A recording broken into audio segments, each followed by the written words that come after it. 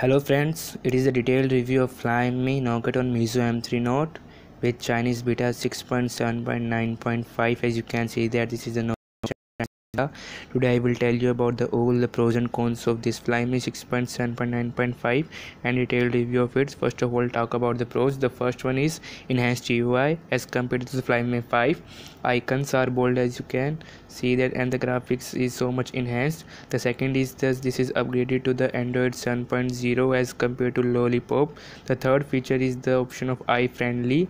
It provides you the feature of eye friendly after turning it on blue light so that it won't harm your eyes.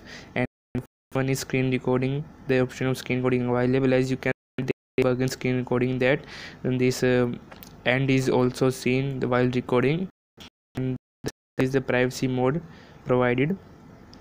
The privacy mode is uh, provided in the fingerprint and security. I have talked it previously in my previous videos mm, about privacy mode the app cloner is also provided in the accessibility but it only clones a few that is only the WeChat so no not all apps are supported in this. The seventh feature is the WLAN tethering provided in the more option. We will talk about the WLAN tethering in follow-up videos. And the another feature is the option of multi-window. Yes the multi-windows. The multi-window feature is incorporated for all the videos. Eh, you can see that there are a lot of videos there.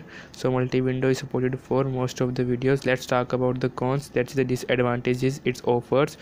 And there is this is due to the beta version. There are a whole lot of disadvantages. As we play the youtube version youtube video this youtube video hangs in there. And the video play smoothly and not all the videos are played smoothly. As we can see that after going online which is not playing smoothly.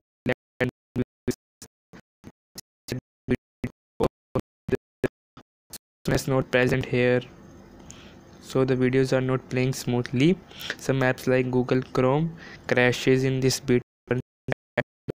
Good even version compared to flyme 5 and the full battery to 6 hour as there is a sharp sharp slope after fully charged. So you so there is a very low up in this and cam and fifth disadvantage is shutter sound still here even if it is disabled. Sometimes the m back button doesn't work. The VoLTE option so provided into the Siemens networks doesn't work. After turning it on uh, there is uh, no option of VoLTE in the above bar and is very slow response. The flyme forum app doesn't work. After opening the flyme forum app as you try to log in in the app the app won't work as yourself. This very slow response of and there is a error in always as you log into the flyme forum app. Thank you guys.